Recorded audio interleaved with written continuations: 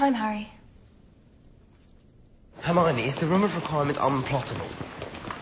If one wants it to be, why? Well, then that would explain why I thought Malfoy was leaving the castle when he disappeared off the map. He was just going to the room of requirement. Of course. And then that would explain the vanishing cabinet as well. Yeah. No, I got an alert from Dad this morning. The one at Borgin and Burke's is still there. No, I'm telling you, I saw it. What if there are two vanishing cabinets?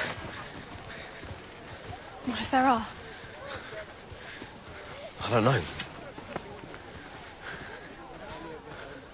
Good luck, mate.